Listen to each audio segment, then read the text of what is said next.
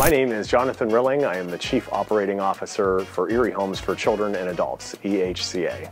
EHCA's Golden Gatsby Gala is a throwback to a simpler time, and, and that's the 1920s, the roaring 1920s. Brian's film work at the event allowed us to convey the excitement of the event, the time period, the theming that we were going for at the event.